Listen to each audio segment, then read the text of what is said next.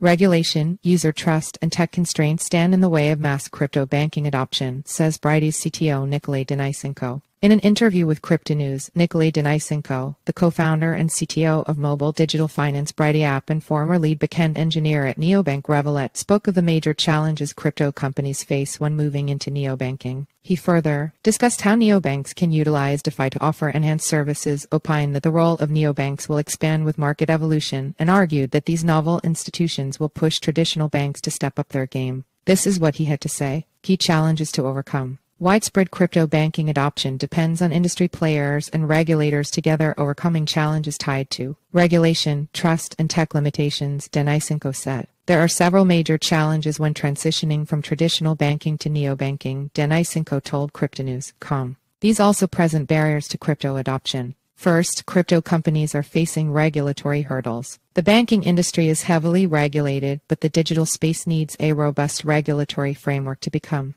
a part of the global financial system. Then, there is a lack of widespread understanding and trust. Many individuals still see crypto as risky or speculative investments. Gaining customer trust is especially difficult with the stiff competition from established financial institutions. Offering first-rate security for the new tech-based products is key, Denisenko argued. Companies must invest in measures such as multi-factor authentication, encryption, and audits. Lastly, fintechs and neobanks must build a solid technological infrastructure aiming to create scalable and reliable systems to support real-time transactions, the CTO said. However, per Denisenko, considering the current regulatory landscape, the forecast for crypto adoption and fintech growth in Europe is generally optimistic. This is largely due to the EU's efforts to provide a clear and harmonized framework with its markets and crypto assets MiCA regulation. Web3 tech can bring secure, efficient, and transparent financial services. Denisenko noted that decentralization is a core principle of Web3, saying that neobanks and fintechs can leverage it to create more secure, efficient, and transparent financial services that empower users and give them greater control over their assets. As decentralized finance DeFi encompasses a wide range of financial products and services, including lending platforms, decentralized exchanges DEX, and yield farming,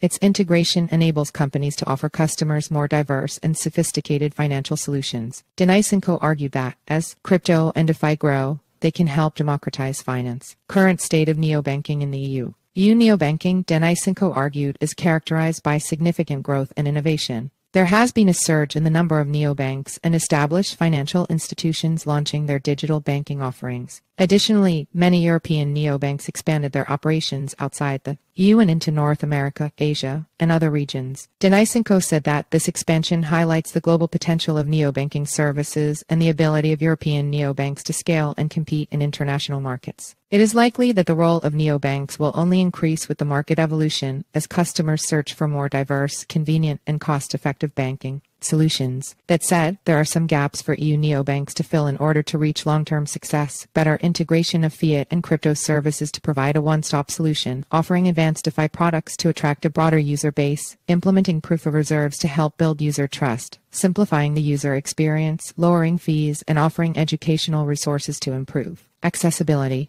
The future of the industry. In the next 10 years, Denisenko opine, as regulations like MiCA mature and technological advances make crypto usage simpler, crypto banking is likely to become more mainstream. Denisenko said that neobanks and fintechs focusing on DeFi and crypto will keep gaining market share, pushing traditional banks to step up their game. We might even see the rise of DeFi banks fully embracing blockchain tech and cryptocurrencies. That said, mass adoption still depends on industry players, regulators, and policymakers working together to overcome the above-mentioned challenges. Brazil's Nubank remains bullish on crypto. South Korea's biggest neobank reportedly on verge of crypto exchange banking deal. JP Morgan partners with six Indian banks on blockchain-based interbank transactions. Binance in talks to let traders keep collateral at a bank. Bloomberg What is DeFi? Decentralized finance explained yield farming, liquidity mining, staking, and their risks.